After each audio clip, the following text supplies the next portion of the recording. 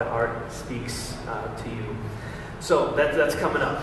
Now, we've been in a series called One Blood, looking at God's desire for a multi ethnic church. We've set the biblical foundation. We've talked about the prayer of Jesus, the pattern in Acts, the Pauline mystery. We've talked about unity doesn't mean uniformity. Uh, we said that we're to walk worthy, and that in a multi ethnic church, as we're following Jesus together, at some point, there's a 100% chance that you will be offended uh, somewhere along the way. Like it's just someone's going to say something, do something, and that gives us an opportunity to walk worthy, to walk worthy that we looked at in uh, Ephesians last week.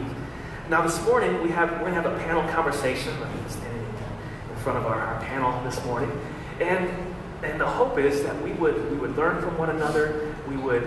Um, get to know some of our story a, a little bit. We, we would listen we would um, hopefully be able to move forward as a church and, and what it looks like to be a multi ethnic church. Um, and so I would encourage you to maybe take some notes this morning. At the end, for our last question, you will have an opportunity to give input into the conversation. Uh, we'll have a QR code up and a place where you can type in a quick question or comment. I may not be able to respond to them all today, but we want, we, this is a, a family kind of conversation. And so we want everyone to, to be able to contribute. Um, so we're gonna we're gonna get started, and I'm gonna we're gonna go around, and our panel's gonna introduce themselves and uh, where where they're from, and just a little bit about their uh, their church background as well. And we're gonna uh, let's see, start here, start there. Uh, John, would you mind just introducing yourself? And, from? Yeah. Hello, everyone. Uh, thanks for listening to us this morning. Um, so, uh, my name is John. I've been in, I've been here at the Hills uh, about a year now uh, with my wife and kids, my over there. Um, and in terms of a little bit about, like, you said church background, right? Yeah. Yeah, so. Maybe where, um, maybe where you grew up. Yeah, okay, okay, yeah. So, um, I grew up in Naperville, Illinois, outside of Chicago. Um, and grew up uh, in a Christian family, grew up in church. Um, I grew up going to um, a white non denominational church, which I'll probably share a little bit more about later. Um, and uh, yeah, grew up a, grew up a Christian. Um, and in high school, you know, I feel like my faith kind of became my own, and that was important to me. Ended up going to uh, Christian college. Yeah, it's a little bit, that's a little bit about me. Yeah, that's good.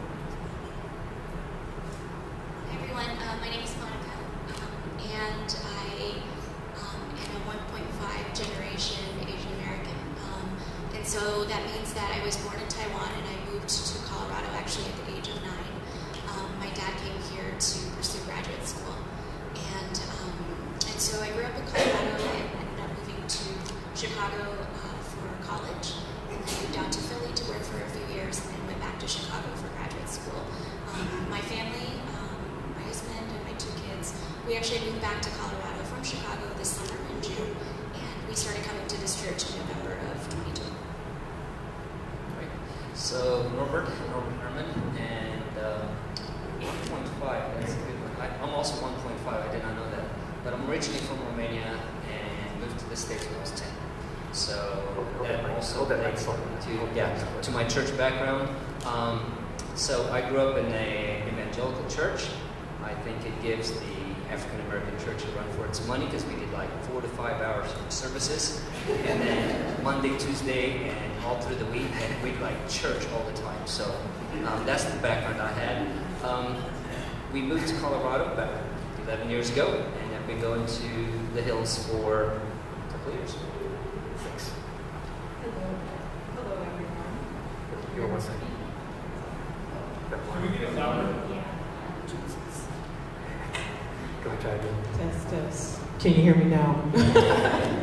hey, everybody. Um, my name is Kristen Maddox. Um, I grew up in the wonderful state of South Kakalaki, South Carolina, to anyone else who hasn't heard it phrased that way. Um, so I'm from the from the deep South. Um, growing up, uh, went to a predominantly black church until about fifth grade. Then we transitioned to the new flashy uh, production church. Um, non-denominational white church uh, when I was in about sixth grade, where I got saved um, and started like kind of taking my faith for my own. Um, so I've been in predominantly um, multiracial, multi-ethnic spaces since then, and multi-ethnic churches since then. Um, but yeah, that's a little bit about me. And then also, I started coming to the hills about a year ago. Well, thanks. Um, so we're gonna, I'm gonna ask questions, and they're gonna answer questions. And uh, we talked beforehand, just uh, kind of what this conversation ago, and they provided the feedback on the on the questions today that we've, we've had as well. Uh, but just to get us get us started, um, who would like to answer? How has your your culture, ethnicity informed your faith journey? How has your culture, ethnicity formed your your faith journey? Anyone want to start us off? Um, just as an immigrant, um, we um, grew up in the Chinese church. My family, we, it was about 20 congregants, and we met in the basement of a rented space, and it really was a safe haven where everyone spoke the same language. We ate the same food. We didn't have to explain it to anybody. Um, and as the congregation grew, there was sort of an English translation component. And so we kind of moved back and forth between speaking in Mandarin and then also speaking in English. And I think when I think back to that time, like a really vivid memory is, you know, being able to see the verses of a song in two languages, right? Understanding the value of understanding who God was through sort of multiple ways. Um, I don't think I really understood the um, impact of my ethnicity and culture on my faith until I stepped out of that space, and that happened in college when I started going to a multi-ethnic church. You know, sometimes when you're swimming in something, you don't really realize, um, you take it for granted. And um, at that time, I realized, looking back, how much how much my understanding of Christianity was really shaped through this Asian culture, right? Um, the the pastor was always talking about sort of obedience, keeping your head down, working hard, you know, sitting through the discomfort, and don't worry, God's going to save you because um, you're going to work hard, right? Um, you know, like this idea of becoming a good Christian and a good Asian immigrant was synonymous. They were one and the same? We lauded kids who went to Ivy League schools, you know, kids who obeyed their parents. And I think I, it wasn't until I went into a multi-ethnic space where I realized that's that's just one version of the gospel, right? That's one slice of it. And um, in college, I began um, sort of serving alongside folks in community organizations and being in places where justice and injustice was really at the center. And that led me to ask these questions about my faith, like, what does my faith have to say about this? What does God have to say about this? And hearing other people's perspectives really helped me understand um, a much fuller picture of what the gospel was about and sort of how myopic my own view was from that really singular lens. Um, and so, you know, the question is about how faith and um, ethnicity and culture were related. It's, it was totally inextricable. And I think it, it was hard to realize until I stepped out of that space. Gotcha. Thank you. Thank you. Uh, anyone else like to share how your uh, culture, ethnicity has informed your, your faith journey?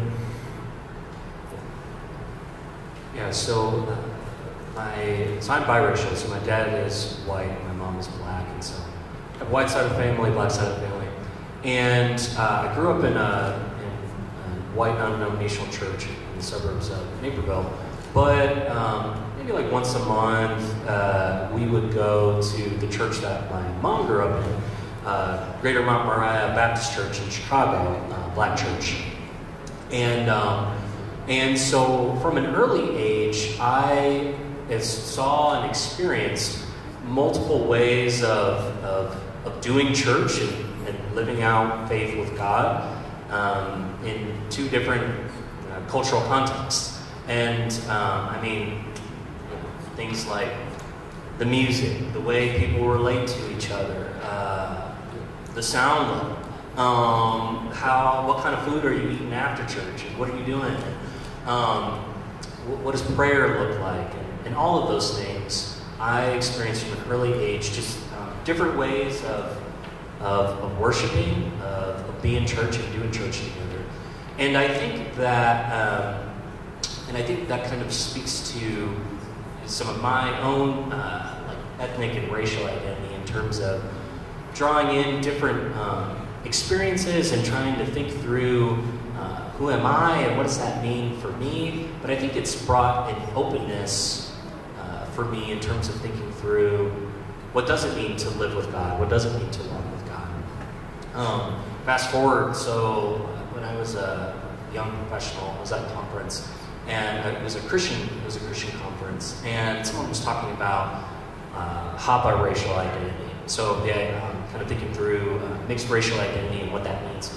And there was uh, a bunch of people in the room who I could tell had a lot of mixture in their life, um, ethnically and racially. And we were just talking about um, our lives and talking about trying to make sense of different traditions and cultures and, um, and, and identity. And I realized in that moment, oh, I'm home. Mm-hmm. I'm home. Um, and so that was a that was a that was an insightful uh, piece for me. And then one more story. A few years later, um, uh, I was I was working with a with a student who was um, Afro Latino, and he's like, "You got to read this book. You got to read this book."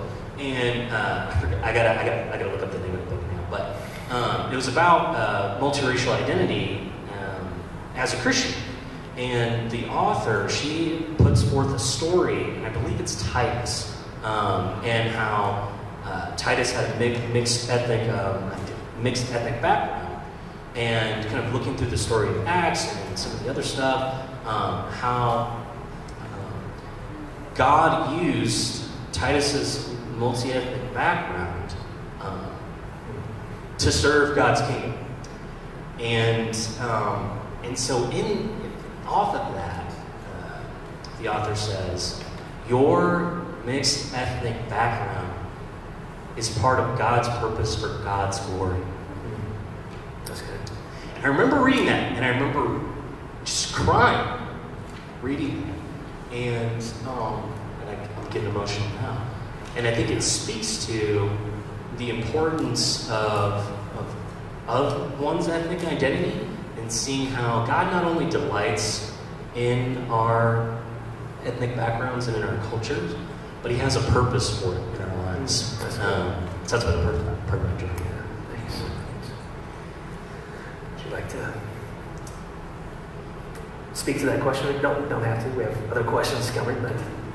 Um, yeah, just a quick, I guess, answer to that. I feel like growing up, um, being in the South, um, being typically one of the only black people in the room, or maybe there were a sprinkle of us. Um, I think that really impacted the way um, and shaped the way that I viewed the Bible, the scripture teachings, and everything um, in a way where um, I feel like a lot of times I didn't see myself um, in in that church or in that space or I feel like it wasn't until the last probably six years I really started to digest and dissect what it meant for uh, each person to be made in the image of God um, and how me being a person of color is made just in the image of God just like anyone else.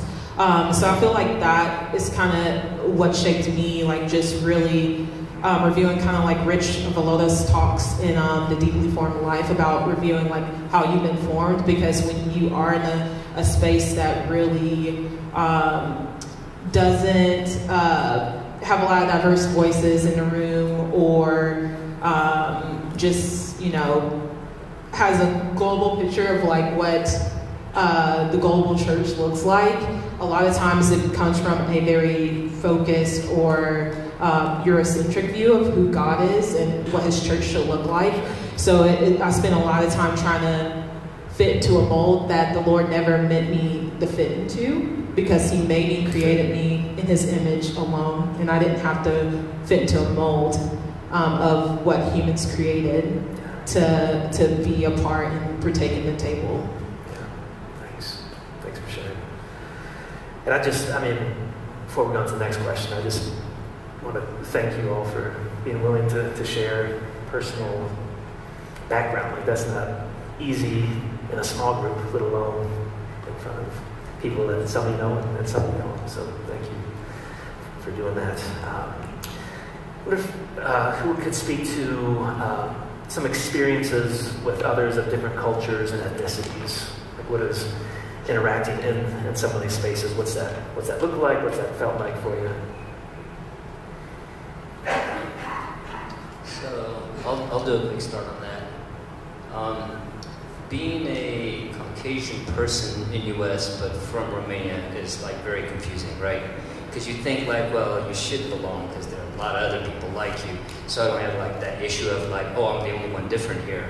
But we are very different, and um, I, I think the difference is when we start really paying attention to our culture, our ethnicity, especially depending on your personality type. I kind of brush them aside because maybe I'm not a introspective thinker enough. But when you start thinking about them, and I'm thinking, when we came to the States, probably a little bit like you, our church was very Romanian, and we were very different. And there were those American people, and the way we did church felt like 10x holy to everybody else doing church. And, and you don't realize how you're developing these I'm different than them, and either worse or better, and how that creates um, basically your journey with God, at least it did mine, and then being able to relate to other people. And I thought, when Pastor Matthew asked us to even think about this whole concept, I'm like, well, I have nothing to share. I mean, everything's fine, kind of.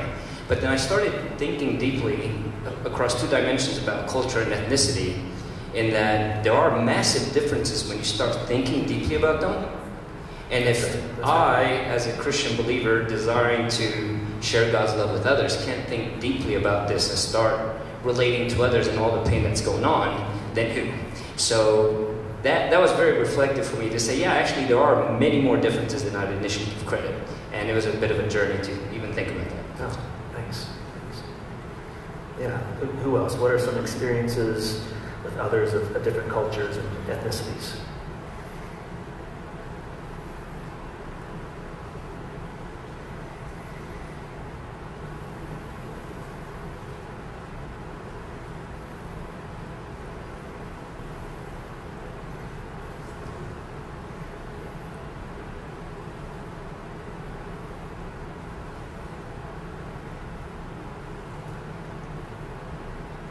I can.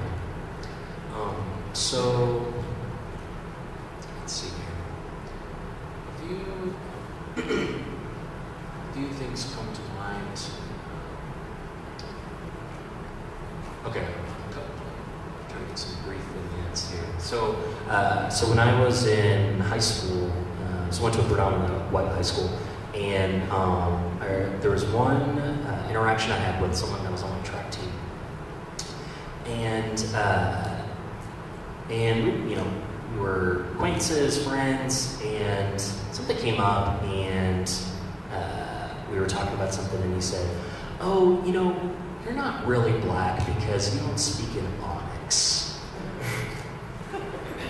and you know, it was one of those moments where, I, I, in my own reflections, it's like, man, your understanding of what it means to be black like doesn't doesn't jive with me or my family like my family heritage because what, what you're talking about i mean that doesn't even describe you know kind of the diversity of my family. And and i think um, and i think moments like that in my own journey were uh, helped me think through okay like what, what's going on here in terms of uh, how we relate across cross race and how we understand each other, how we kind of like reduce each, um, maybe specifically white people can like reduce those of other races and ethnicities um, to kind of stereotypes. Um, I think uh, in college, I had uh, one of my friends was from Ecuador, and and I think through in, in my residence hall, and I think through having conversations about uh, where we grew up and what kind of food we ate and what some of our experiences were like, I realized um, there are different ways of seeing the world. There are different ways of seeing the world, and it was it's in it was in moments like that where I realized, okay, I'm an American. I've grown up in America, and that shaped who I am and how I see things. And um, I think uh, relationships like that have really opened my eyes to kind of uh, yeah, different ways of seeing the world, which is kind of connected to different ways of seeing God, different ways of living out faith um, that have been important to me. It makes me, so as you were speaking, I just kind of a question. Maybe the, this is not on the, the list here. But we want to honor people's culture without making assumptions about people and their experiences. So I wonder how, how do we, how do we do that? You know what I mean? Like there's, you don't want to make like, oh, you're from this culture, so you must be this way. At the same time, I want to make space for the culture that you may be coming from, and it's different than, than where I come from. So how do we do that in an honoring kind of way? I don't know. Yeah, I've been thinking a lot about that, and I think um, when we kind of distance ourselves from each other, it's really essentialize, uh, really easy to essentialize people and to tokenize people um, because you have that one experience and you use it to generalize. Right? That's part of human human experience. Um, and so I, I think it's so important for us to be in community together and to have real relationships with each other. Because I think that texture and that nuance and all of those individual stories um, come out when we're actually in an intimate community together. And when we share our stories, our joy, and we grieve together, um, that's when you start to really understand what that individual's experience is. And it's really hard to do that, um, I think, on a given Sunday morning. Because as beautiful as this community is, um, we can step in here and just leave, right? And we can feel like we've done some of the work because on Sundays, most churches don't look like this. Um, but I think that part of the work is really happening between, uh, on the weekdays, is trying to figure out who are you going to call when, um, you know, you just experienced a microaggression at work. Um, who are you going to call when you need some prayer over what's going on with your family? So, yeah, I think really intimate communities is one of the ways to do. Yeah, and I, I love how you hit on that because I feel like in a lot of times in those situations, um, people try to honor, uh, I guess, other cultures by almost tokenizing, oh, I have one black friend, I have one Asian friend, I have one Latina or Latino friend.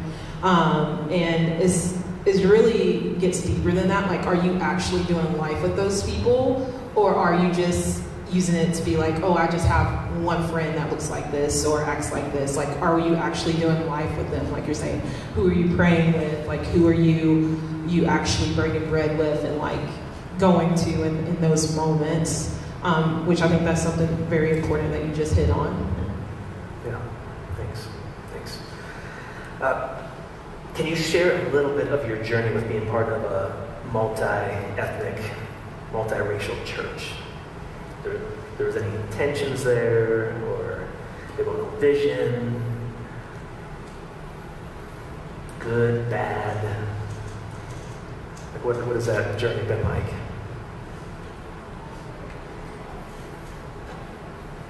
it's hard sometimes. Um, something that I really think about, um,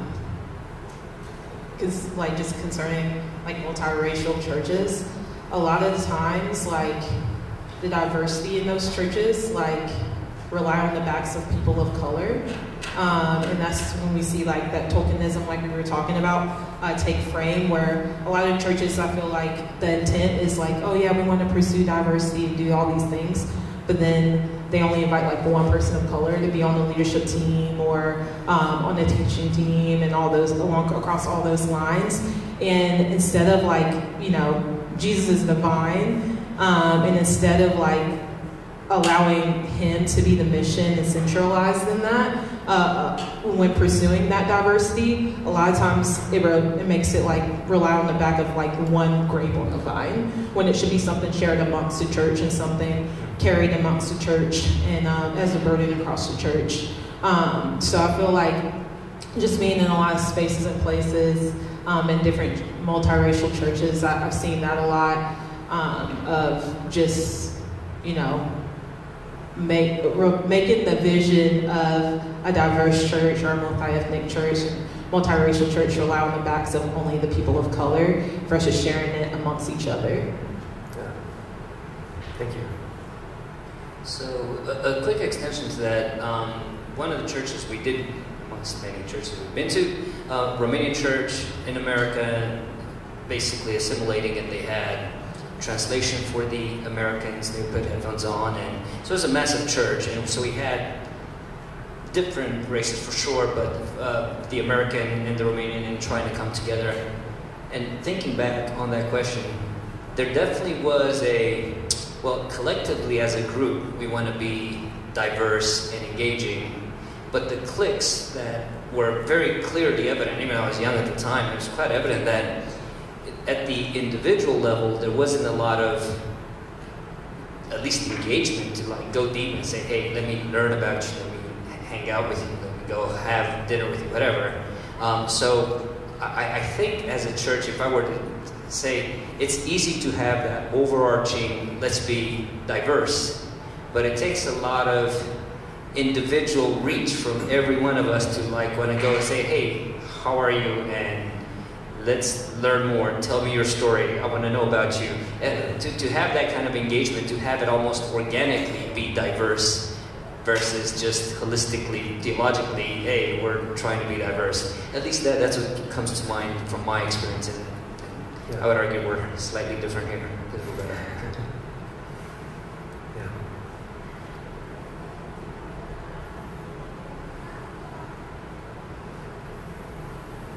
So for me, this is the first uh, multi-ethnic church that I've, that I've been part of. So I so yeah, I grew up in a white denominational church. Uh, in college, was part of a few different churches, all predominantly white. Um, I learned about multi-ethnic church. I believe in college. I, believe it was a, it was like a conference thing, and Bryan Loritts was there. Um, and I was like, oh, that sounds that sounds really cool.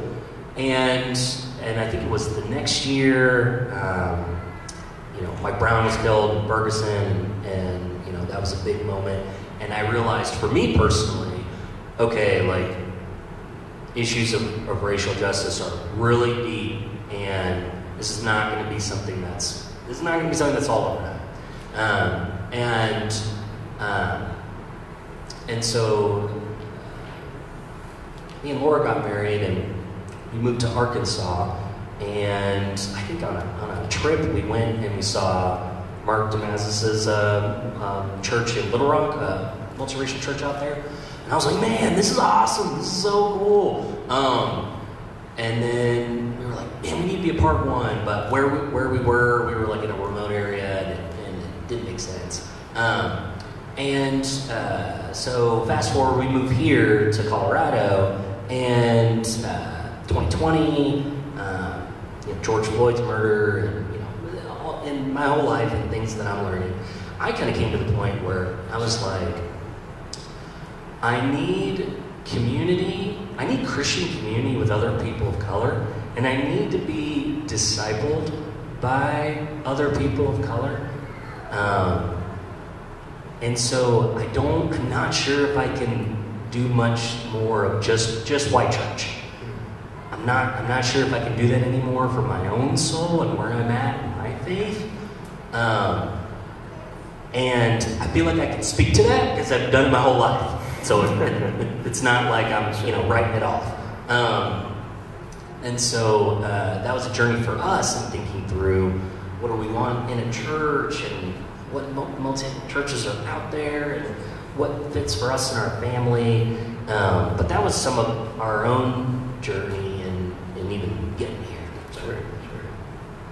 I'll just go briefly, but I think um, prior to moving to Colorado, um, as a single person and also as a married couple, we had gone to another multi-ethnic church that was a little bit older than the Hills. And it was a pretty intentional decision on our part to be in that space, um, partly because of the experience that I had growing up in an Asian church, um, and some of the experiences that I had in college that kind of opened my eyes and sort of troubled my understanding of what the gospel was. Um, and so I think some of the most powerful experiences that we had in that in the multi-ethnic church in Chicago was is in the pandemic, um, and you know going through the pandemic and um, just realizing how many injustices, um, and in particular, this was a church in a black, historically black neighborhood.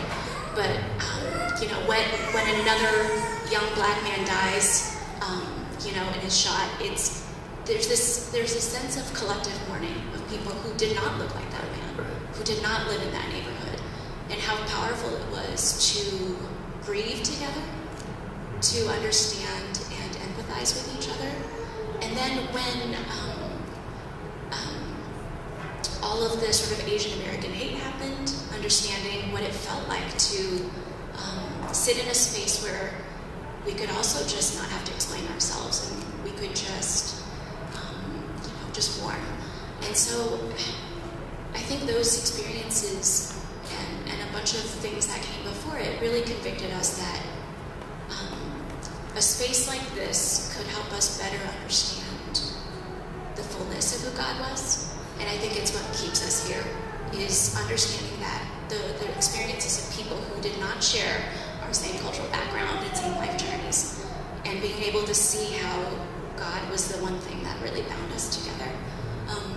Um, that said, I think I also face a lot of tensions, um, especially now as a mother of two kids, thinking about what is their identity development going to look like in this space? You know, how are they going to honor their cultural heritage? wouldn't it be easier if I just went back to my home church, which my mom is always trying to convince me to do, right? Why don't you come back here? We can eat the same food. They can experience, you know, they can talk to all those aunties and uncles and do X, Y, Z. There's so much of yourself that you don't have to explain in a space where everyone looks more like you. And so it's it's an intentional decision, but it's also a tension that continues to sort of simmer inside me about, yeah. you know, what do we what do we gain and what do we lose? Why are we here? Um, really thinking about that. Yeah. Thanks for sharing that. Uh, a couple years ago, there was a, a study that, that came out about multi ethnic churches and the experience of, of, people. And what the study showed was that not everybody experienced multi ethnic churches the same. And there, there was, it, it, kind of shined a light on, on some things that, um, Kristen kind of mentioned, it's like this tokenism or like having to fit into like the majority culture and not being able to, to see scripture, see yourself in, in scripture. Um, and the, one of the, the ladies who was part of the study, she's a sociologist at Ohio State University. She, she wrote an article in Christianity Today, and if you've been part of the Hills Church, I sent an email this week with a link to that uh, to that study if you wanted to read that, or to her article. And then so she, she paints a picture of like some things that have not gone right in multi-ethnic churches. And, and uh, but then at the end, she ends with some hope. And here's, here's what she says. She says, multiracial churches are to be places where every person's belovedness is embraced and celebrated, where every person is able to come to the table with their gifts and skills as leaders and contributors to advance the good news of Christ, and where no form of supremacy other than the supremacy of Christ reigns. That's Korie Little Edwards. Um, and so the, the, final question, and this question that if, if you have feedback on for us as, as a church as well, I'm going to put up a, a, QR code, put up a link. If you can see that. So it's, you probably can't see the link now that I'm thinking about it here. That's low. Uh, the link is thehillsdenver.com, thehillsdenver.com slash convo or if you wanted to, to jump in. But the, the question is for the, for the panel, and then if anyone has input as well, and this is for going forward, things we want to be, be thinking about. It's like, what, uh, what might it look like to pursue this vision as the Hills Church, and what are obstacles we might face? So as we pursue this, this vision that, that God's given us, that we believe is biblical, um, and that Jesus prayed for, the early church was a pattern for it. What, what does that look like for us to pursue that? And what obstacles might, might we face? And some of the things you've already hit on and some of the other answers. What, what's needed, the community, but like if there was any any other ideas around this question. Go ahead. Hello, it's me again. Um, I think obviously a, a great thing is, um, not a great thing because it's not always right, but a good thing to do together as a church is lament together when those injustices happen, kind of like Monica hit on and John hit on. Um, just making sure we're in a, a, true, genuine space where people can be real about how they're feeling and where they're at, and then also like being able to come alongside people that don't look like you uh, in that and pray, um, pray together um, and hope for a better outcome. So I think that is a, a huge part of having that beautiful vision that you just read in that that quote where people understand um, each other's belovedness and that they are made in the image of God and that inherent human dignity that the Lord uh, ascribes to people when He creates them and knits them together. I think lamenting together is a is a big part of that picture. Yeah, and I, uh, it, it's hard, and it's been a journey for me as, as a, a white guy. Like when I see stuff in the news, or I see like a white guy who's been shot or, or for some reason. Like I don't, I don't feel that. Like it, you know, it's, it's a stranger. It's because typically in white culture is very individualistic, and we don't quite have that same same feel. Um, and so, I mean, to, to, hear, I mean, your your input and, and, your stories on that, and lamenting and the stories of, of a, being a part of the people who lamented when, when things happen. That's that's helpful for for, for me to for me to hear. Like it's it's a different experience being black or being Asian or Latino. That in, in America, it's a different experience. And so thank you for for sharing that. So hold on, it goes this way, right? Sure. So a um, couple of things. I, I really liked your mom's uh, inquiry. Hey, why don't you come back to this church because it's comfortable? Um, I, I think even though for some of you who know me, I'm more of an expressive personality type. I'm also a human, a creature of comfort and consistency, and I want to have something different because it takes energy. For me to engage with people that are different than me, of course it takes more energy because all of a sudden I have to like think through their lens and um, the white evangelical Christian in U.S. Um, has a very different mindset than what I grew up with and that's a little harder for me to engage with than others. In other cultures, I find it a little easier. But I, I think collectively, to have that intentionality and don't be so fooled by your ethnicity or race. Find out who people are different than you and like desire to spend time and learn with them. That is really hard. That's, that's uncomfortable. And I think if we are to ever really come closer to this one blood concept and understanding that we're different, but you know we're, one blood in, in, Christ. Then we have to really start going in and saying, no, actually, I'm going to skip this Sunday from my Asian church and I'm going to go to this other church, despite your mom's request. So I, I feel like I get that a lot as well because it's so easy to just be comfortable. And that'd be my thought process. So building on what you just said, I think there's um, a lot of value in creating room for difficult conversations. And I don't really know what that looks like. I feel like, you know, we're in a micro church right now, and it feels, because it's just so much smaller, that things can just bubble up really naturally when you're having a cup of coffee or trying to wrangle your kids um, into, into the conversation. And so I'd love to think about what that might look like for us, what, how, what it means to create those spaces. Um, where we can have those, we can lean in and like name the thing, right? Um, I think part of it is sort of just not as making assumptions of one another. And I think it could really help create sort of this shared vocabulary around our personal experiences. And I think that's part of the work of, you know, really getting to, to know one another on a deeper level. I think one of my fears always in these kinds of spaces is that that we, we think about pursuing diversity for diversity's sake. And I think the value of being in a Christian space in particular is it begs this question of like diversity for what? Is it for whom? Is it for the white people who come here and say, look at all these wonderful people that I'm friends with, mm-hmm. right? Um, part of the diversity is, I think it's a it's a starting point maybe. It's it's a it's a surface level indicator of where we're at. I think it's when you dig into the everyday life of what we're doing and who we're talking to, that's where the true sort of this understanding of who we are and why we need God and why we need each other, that's where it shows up. Yeah, thanks.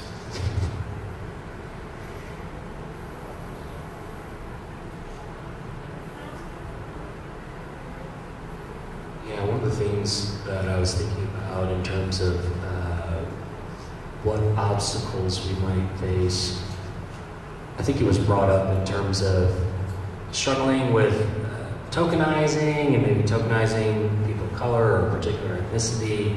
Um, and to what extent do things, or rephrase, things change when um, people of color are in leadership positions. Things change. And I don't want to emphasize like kind of particular roles per se, but I think when when we uh, have leadership expressed um, from different cultures and backgrounds, and, and that leadership is supported, um, I think that creates spaces for um, kind of more more uh, complex understandings of our different ethnicities and backgrounds. Um, and I think one of the one of the obstacles I think is just thinking about the I guess U.S. context is um, a lot of uh, popular kind of teaching in, in books and whatever content. It's from white evangelical voices, to be frank. And so, uh, so there needs to be the work of, of centering uh, those uh, people of color, other ethnicities and backgrounds uh, in different perspectives of what it means to, to walk with God. Um, and I think the challenge of that is that we're kind of always looking to, right, what, what's what's out there, but we're not not necessarily centering um, different perspectives. We can kind of get stuck. That's really good. So a, a quick comment, because you said something that if you'd asked me a few years back, I would have said, well, that makes no sense. You said a statement of things change when you have a black person in leadership, or when you have a woman, or when you have different people in leadership. And I would have trivialized that statement a few years back. But the more I spend a lot of time in my work life about the emotional language and the signals that we send, you could have the exact same logic from two different people, but the emotional expression of that logic connects differently with different people. And you, we connect emotionally way more than we can connect logically. So I. I just want to explain that for some of you who may have gone or probably going through this journey. Those things make a difference because there's so much that is unsaid, but it's said to the emotional expression of how we communicate. That's what we need. Sure. Diversity. Yeah. And we've, we've had conversations. Uh, I was in our, our micro church, and so if you're not in a micro church, you should probably be in a micro church because we have some of these, these deeper conversations um, about like being in spaces, John, where you don't have to explain yourself, like and how helpful that is. Like you can just, especially around uh, some of these uh, tragedies um, that the black community has faced, like you don't have to like set up qualifiers. Like you can just go and like what that what that looks like. And um, any any other things you would say challenges or obstacles? Yeah, I think um, I think another obstacle is kind of uh, maybe to go out there a little bit. I think another obstacle is thinking that we can thrive as a multi-ethnic church and not consider social and political issues of justice. I, I, I'm not sure if we can do that because, you know, 2020 George Floyd, black exodus from churches, from multi, uh, multiracial churches, right? That's right. And and I think so. I and I think that that probably makes all of us a little uncomfortable. Perhaps specifically white folks uncomfortable of considering, ah, we got to think through issues of justice for our community, precisely because these things are impacting us in our community. So we need to create spaces for lament. We need to create spaces for what do we do as a church to respond to these things. Um, but that that implies that we have a robust and multivocal uh, perspective on justice and faith. That's right. And once again, if we're just listening to white voices on that, we're, we're, we're going to be behind. We're going to be behind. Um, so I think that's a challenge. But there's hope in uh, that there are, we can connect across racial and and ethnic backgrounds on issues of justice can walk through life together, can lament together, can pursue justice together, but uh, it requires picking, all of us picking up our cross in our own way. That's right. Yeah, and I think kind of piggybacking off of that, not assuming that it's going to be like an easy, beautiful process. Like it's going to be hard, and there's going to have to be, like Monica was saying, those those hard conversations, those difficult conversations. But it, it might be one of those things where you, you need to leave that comfort, conversation in the moment just for your own peace, but being able to come back to it and, and actually like come back with a level head, um, with reasonableness, which um, one of my favorite verses is in Philippians 4 about uh, be known for your reasonableness. Um, so I think that as a church, we also need to come to terms that like it's not going to always be pretty because uh, as you probably have realized if you've been walking with the Lord for a while, it ain't a pretty process. so I, I think uh, that's something to also give ourselves grace in. Yeah, no, thank you. Thank you for that. Um, so I have received uh, several several comments from online, so thank everybody. Uh, I've received those, and, um, and I've some comments about taking doing what's right rather than what's what's easy. Um, comments about our uh, worship that's reflective of different cultures, different music, hymns, bilingual songs. Um, having some some pair-ups of different micro churches, uh, just to get some, some, different conversation going. More cultural celebration and, conversation. Inviting more cultural traditions into our service and micro churches. Actively challenging our assumptions. Um, and some of the obstacles around our, our comfort, our own biases, our, our, limited understanding. And so, as, as you reflect on this conversation this week, if, if there was things that you think about that you want to add to this conversation, this, this link will, will be up. And we, we do, like, this is a journey we've, we've been on as a church, and this is the end of this particular sermon series, but it's not the end of this. Like, this is like, oh, we, we're there. Good job, everybody. Um, this, this, is an ongoing uh, conversation, and um, and and for for people of color who are part of our church, um, I mean your your voice, uh, your uh, like we want it, we need it, and we want to be intentional without tokenizing, um, and that's and I hope like we're, we're moving in that direction we're moving in, that direction is my prayer. So can we can we thank our, our panel uh, this morning?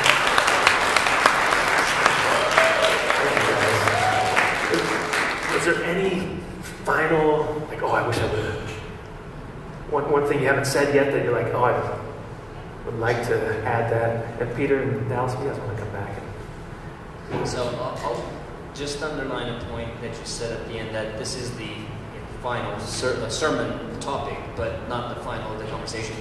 What I've learned is, and watching the social issues and the challenges we face in, as a country, this problem will forever either get slowly uh, more remedy or it will actually get worse. This, this domain of being diverse and being inclusive doesn't just stay steady and it's never resolved and it always could be resolved a little better or a little worse, but it just takes constant energy to push towards it having it more resolved. So I just see it as very dynamic and ever going. So hopeful that probably not. Yeah, thanks.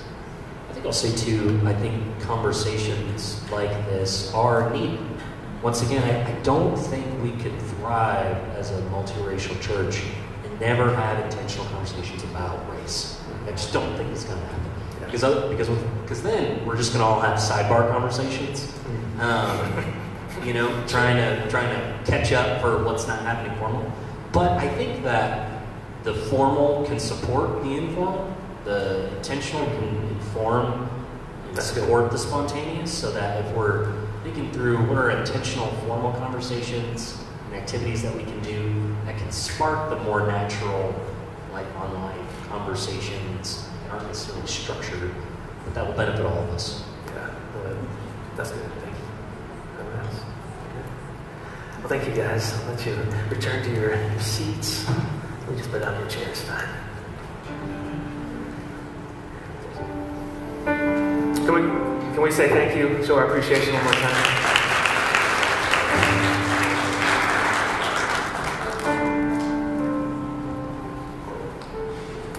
Let me just, we're going to conclude with uh, communion. I think in these conversations, one of the, one of the, the best things we can do is, is come to the table together. And so let me uh, just share one, one verse. I've shared it multiple times in, the, in this series. It's from Ephesians chapter 3. And the whole context in this chapter is about this one new humanity, Jews and Gentiles who who couldn't really stand each other. They didn't socialize together. They weren't trying to be diverse for diversity's sake. Like that wasn't what they were about at all.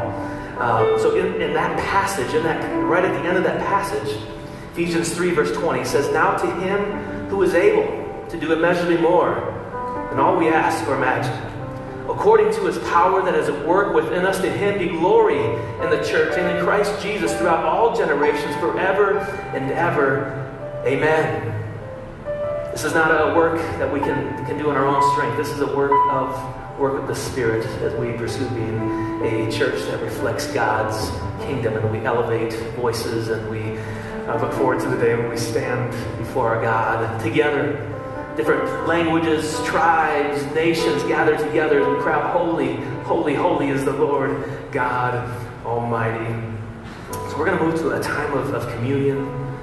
And you don't have to be a member here at the church to receive communion with us, but if you believe the realities of, of which we've been, been speaking in just a moment, we'll invite you to come to taste and see that the Lord is good.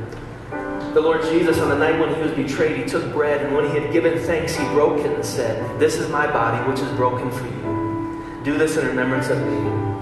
In the same way, also, he took the cup after supper, saying, This cup is the new covenant in my blood. Do this as often as you drink in remembrance of me So today, when we partake of the, the bread and of the juice, we're recalling Christ's death. We're looking back to his death, but we're also looking forward to when Christ comes again and, and makes all things new. So we have individually wrapped communion. So we're going to, in just a moment, we'll all stand. This section here, you'll work your way around here. In the middle, you'll work your way around in a circle here. And on this side, you'll work your way around. Uh, we have individually wrapped communion. And as you return to your, your seat, uh, you can receive communion. You can take a moment of prayer, a moment of reflection, a moment in worship. So, brothers and sisters, these are the gifts of God given for the people of God. Would you please stand? Would you come forward and receive communion?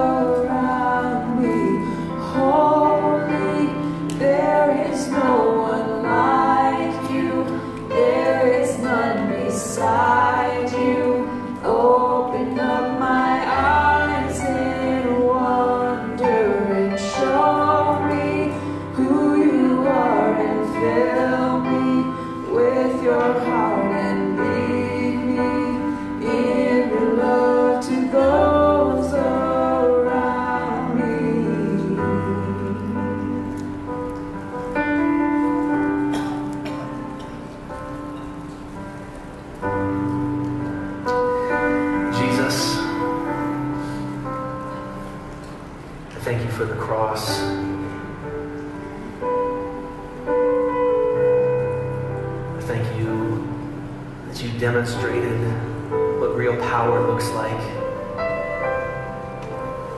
Humbling ourselves.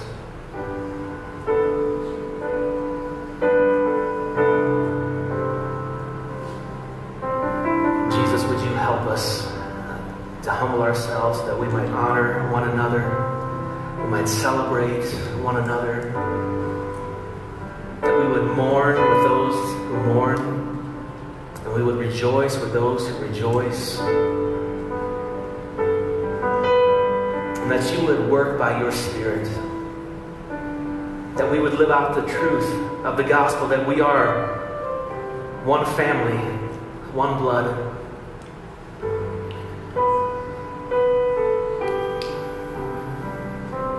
God, that we would lift up the one who is oppressed, that we would search for justice where there's been injustice, that we would come alongside one another and, and carry burdens.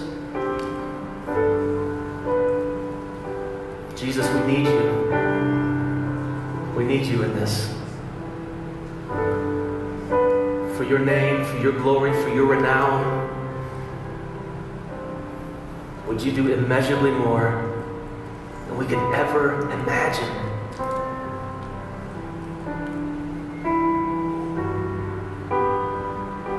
Thank you, Jesus. Amen. Be seated just for a moment. We're running late on, on the time. Just want to make you aware of a few things. Uh, hopefully, you received the worship guide when you came in. There's a number of uh, upcoming things to make you aware of this coming so not tonight, next Sunday night, we're having a prayer and worship night. It'll be very simple. It's at East Denver Church of God. It's at 7 o'clock. And that week, we have a group of 25 college students who are coming for the week and are going to be helping us uh, do different outreaches in, in the neighborhood. And they'll be joining us that night. And, and there's something about being around the college people who are on fire for Jesus that has a way of encouraging your own spirit. Uh, so we, there's no child care or anything, but if you want to bring the kids, um, they're welcome to, to join as well. So that's next uh, Sunday night. Next Friday, we have a family fun and discipleship night at, at Lava Island. You can sign up for that. We need, if you want to come, we, we need you to RSVP for that. We have an upcoming Pie with the Pastors. Pie with the Pastors. That's for anyone new to the Hills Church. You've never been to the Pie of the Pastors. We just get to know you a little bit, share a little bit about the, the Hills Church. Um, and we do pizza pie and sweet regular pie when you think of pie. Uh, but we'd love for you to, to, join us there. If you're new to the Hills, there's a sign up at the Connect table. You can also go online to our events page uh, for all of our events, RSVP, get more information there. Um, and then the end of this month, there was a documentary called Unspoken. Unspoken. And this was put out by the Jude 3 Project, which uh, the Jude 3 Project, it, it helps it's geared towards a, a, defense of the faith from an urban or from a black context. So some of the things that, that Kristen was, was talking about, like not seeing herself in Scripture, in, in the stories, uh, the documentary is going to shine some light on that. So we'll have, we're having a screening of that as, as well. So a number of things going on. It's all on online website. You, you all look very good today. You look good. You look good. Would you, would you stand as we conclude with the doxology?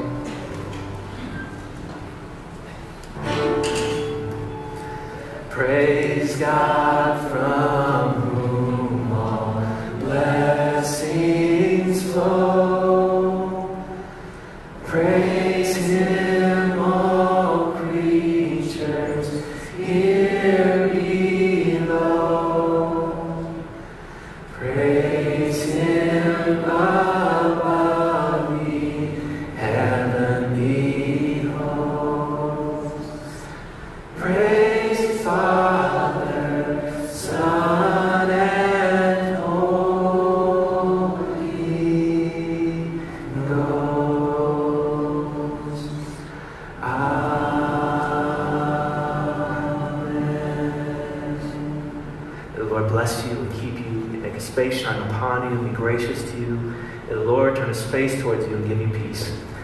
Father, and the Son, and the Holy Spirit, grace, mercy, and peace be with you.